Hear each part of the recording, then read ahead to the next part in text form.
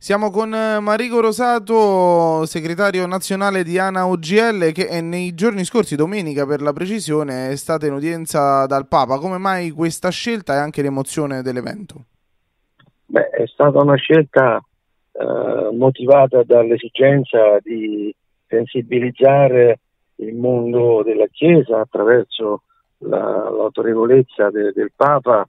per la necessità che si riaprano al più presto i grandi momenti di feste religiose con i quali si celebrano i santi, le Madonne in tutta l'Italia. È un patrimonio della nostra cultura, della nostra identità, ma sono anche fattori di grande eh, diciamo così, coinvolgimento economico perché questo è un settore che coinvolge circa 300.000 eh, soggetti tra ambulanti, eh, gli operatori delle luminarie, quelli che organizzano i concerti, i fuochisti, le bande musicali, insomma c'è tutto un mondo attorno a questi eventi che noi non definiamo semplicemente feste o sagre, le chiamiamo proprio feste religiose perché hanno una connotazione religiosa, che nascono da, da una celebrazione religiosa eh, di devozione che che, che spinge milioni di fedeli a partecipare a questi grandi eventi che si svolgono in tutta l'Italia e che purtroppo da un anno e mezzo sono fermi per via de, della pandemia, c'è questo mondo che era fermo. Quindi noi abbiamo voluto eh, far raggiungere al Papa una sorta di implorazione facendogli sapere che eravamo presenti in piazza che avremmo fatto vivere a Piazza San Pietro, come è stato, un piccolo momento come se si svolgesse a Piazza San Pietro una, in piccolo una festa religiosa. E questo è accaduto perché eh, noi abbiamo coinvolto operatori che hanno portato e realizzato la cupeta eh, oppure e hanno portato e distribuito gratuitamente a Piazza San Pietro eh, i prodotti i biscotti di Soriano piuttosto che i prodotti tipici de, della Calabria e della, uh, della Puglia, del Salento e poi dal Salento è venuto un gruppo di ballerini della pizzica. Ecco, voi immaginate che tutto ciò è accaduto domenica uh, nella piazza più, eh, lo possiamo dire, sì, lo possiamo dire. piazza più importante, più importante del mondo,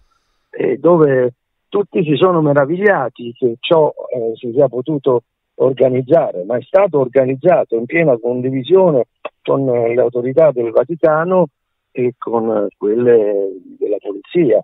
Ora, il Papa ci ha donato una grande emozione perché eh, dopo l'Angelus, noi sappiamo, lui rivolge alcune considerazioni sui temi dell'attualità ed, è, ed ha, salutato, ha salutato la nostra associazione, eh, ci ha ringraziato per i doni perché gli avevamo fatto sapere che avremmo consegnato dei doni a lui perché degustasse simbolicamente queste cose di cui abbiamo parlato prima i prodotti da cui provenivano gli ambulanti e poi ha fatto un apprezzamento eh, rivolto a quei ragazzi che ballavano la pizzica, cioè cose con, con una semplicità, come le dice lui, ne, che ci hanno davvero sbalordito e dato una, una grande emozione indescrivibile perché non era scontato, cioè noi, non, era, noi non, non pensavamo che Papa giungesse a salutarci dalla,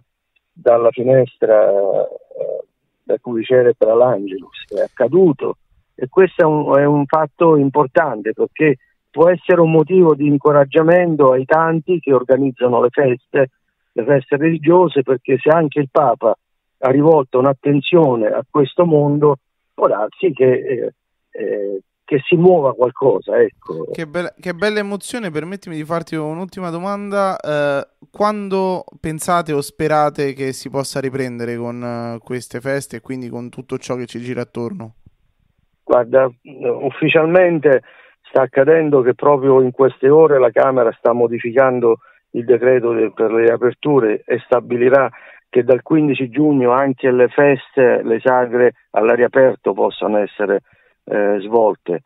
Poi c'è bisogno del coraggio, dell'impegno, perché nel rispetto delle linee guida eh, stabilite dalle regioni si possano svolgere le fiere, le feste, le sagre, questi grandi appuntamenti dell'Italia che fanno parte del nostro patrimonio, della nostra cultura e della nostra tradizione. Noi di questo parleremo anche venerdì, avrò un incontro con l'arcivescovo di Gaeta, Monsignor Luigi Vari, che ho ringraziato già